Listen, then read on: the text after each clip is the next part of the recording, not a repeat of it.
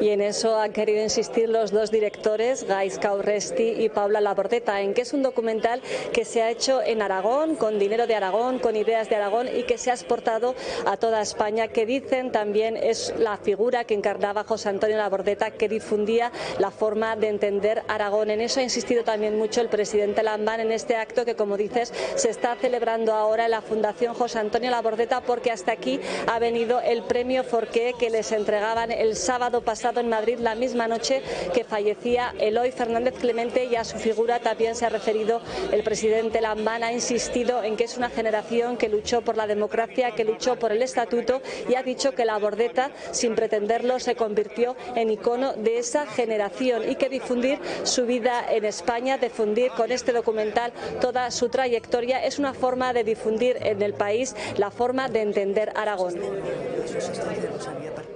Eh, lucharon eh, fundamentalmente por hacer de, Aragón una, una, tierra como la que actualmente es, que, lucharon por traer el Estatuto de Autonomía, por traer el autogobierno eh, y, de entre todos ellos es obvio que siempre habrá que destacar a José Antonio Labordeta, que sin merecerlo, sin creerlo, sin, sin aspirar a ello, estoy absolutamente convencido de que él no tenía esa aspiración, se ha convertido en el icono fundamental de aquella generación, de aquel Aragón.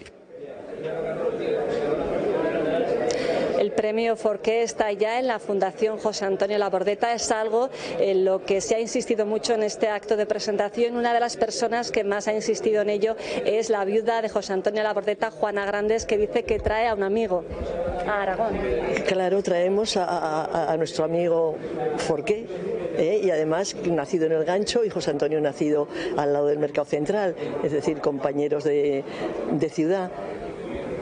Efectivamente, este documental, un punto de partida, aunque me comentaba usted que ese diario inédito de José Antonio apareció mientras ya se estaba rodando el documental. Indiscutiblemente ya se estaba rodando y estaba todo planificado. Y claro, yo tengo, siempre mucha ansia de, hacer las cosas lo mejor posible y yo buscaba hasta el infinito a ver, una, a ver fechas, de, en fin, muchas cosas. Y entonces entre unas unas libretillas pequeñas de fecha, me apareció y digo, y esto no es libretas de fechas, esto es un diario. Y entonces, claro, me lo llevé a casa, porque me lo encontré en la fundación,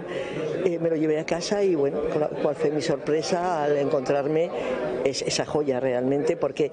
eh, aparte de lo que aparece, porque lo que aparece en el documental es realmente lo, más significativo, digamos, de, José Antonio, pero, pero es, un, es una lección y un recorrido por la historia de Aragón y de España de los años que duró ese, ese diario, claro. Es un diario que estaba inédito hasta ese momento, con generosidad la familia lo ha querido compartir con todos los aragoneses y con todos los españoles y como comentaba, es un recordatorio de toda la historia de Aragón, de la historia de España, sí. incluso de la historia de Europa. Claro, porque José Antonio, no hay que olvidar que era un historiador y en ese no era un diario absolutamente crónico cronológico hoy, mañana, no, era un poco, o sea, como era él.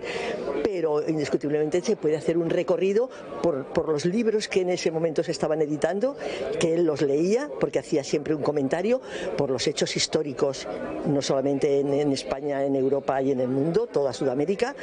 eh, toda su devoción por la literatura latinoamericana. Entonces, bueno, es, realmente es muy bonito porque es, es historia pura. Muchas gracias, enhorabuena por ese premio Forqué y habrá que estar ahora pendientes de los premios Goya del año que viene para ver si este documental, La Bordeta, un hombre sin más, sigue cosechando éxitos.